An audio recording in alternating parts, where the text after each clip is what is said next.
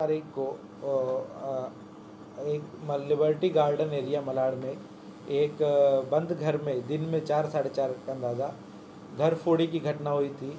एक लाख सतासी हज़ार का सामान जिसमें कुछ सोना चांदी था, लैपटॉप था, थोड़ा कैश था, वो चोरी हुआ था। इमीडिएटली हमने उसमें चार पाँच टीमें बनाई ACP Renuka Wagle madam, senior PI Adane साहब, इन सब के पर्सनली ये देख रहे थे, इन सबने विज़िट किया क्राइम सीन का। और हमको जो डाउट आया, उस हिसाब से हमने पूरा इन्वेस्टिगेशन शुरू किया। और दो दिन में ही हमको आरोपी के बारे में क्लू इसमें मिला। और चौदह तारीख को वो ट्रेन से ट्रैवल कर रहे हैं दिल्ली, ऐसी राजधानी से हमको खबर मिली। इमीडिएटली हमने रेलवे पुलिस फोर्स से कांटेक्ट किया और रतलाम, मध्य प्रदेश में उनको पकड़ने में सक्सेस प्राप्त हुआ है।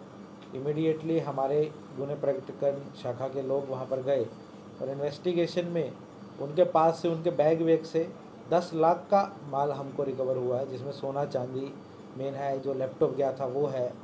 और साथ में ही सात केसेस उन्होंने दो दिन में मुंबई में किए थे, जिसमें पाँच मुंबई में और दो मीरा महेंद्र में। ऐसे ही दिन में घर फोड़ी करने का।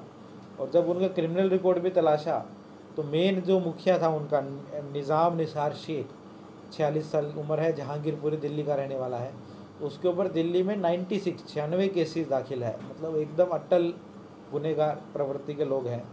इनके पास से घरफोड़ी करने का जो कुछ हथियार वगैरह होते हैं वो भी बहुत मात्रा में मिले उसी बैग में से उनके। आ, जो पेचकस प्लास कटर इस तरह का डुप्लीकेट चाबियाँ सामान उन हमको उसमें से जब्त करने में सक्सेस मिला है।